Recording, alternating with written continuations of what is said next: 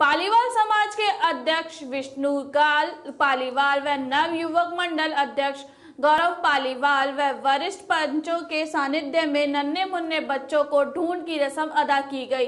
वहीं समाज का वार्षिक बजट समाज के समक्ष पेश किया गया।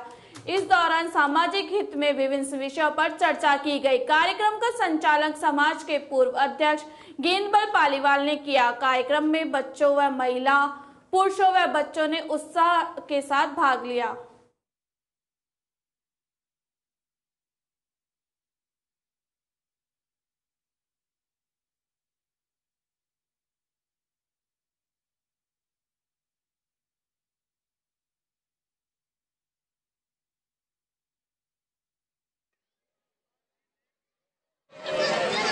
समाज की नई टीम बाकी है, जो कि समय में